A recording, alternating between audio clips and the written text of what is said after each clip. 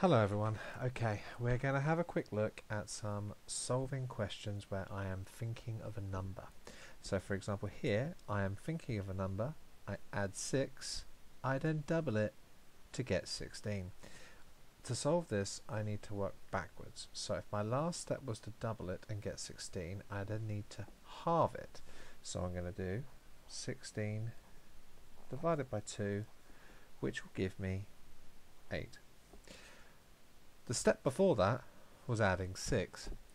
To work backwards there, I need to subtract 6. So I'm going to do 8 subtract 6 equals 2.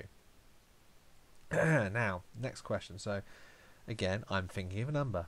I multiply by 3, I add 5, then I halve it. I get 10.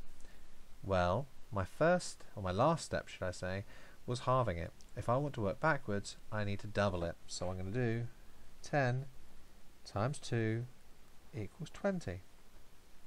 Now, the step um, that I next had to deal with was the add 5. Well, adding 5 means I now need to subtract 5. So my, I'm currently with 20, so 20 subtract 5 equals 15.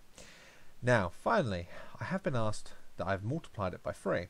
Well, something multiplied by 3 to get to 15, to work backwards here, I would do 15 divided by 3, which is equal to 5.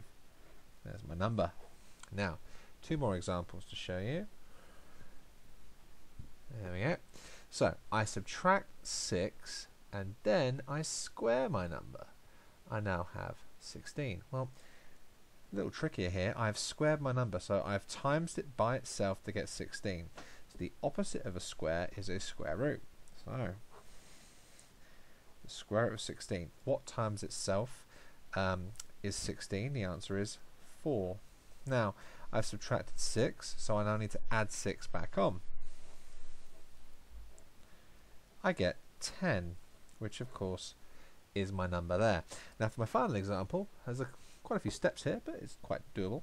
Uh, I divide by 2, I add 7, then I multiply by 3 to get 30. So, okay, um, well I'm currently dealing with 30. My previous step was multiply by 3, so I need to divide by 3.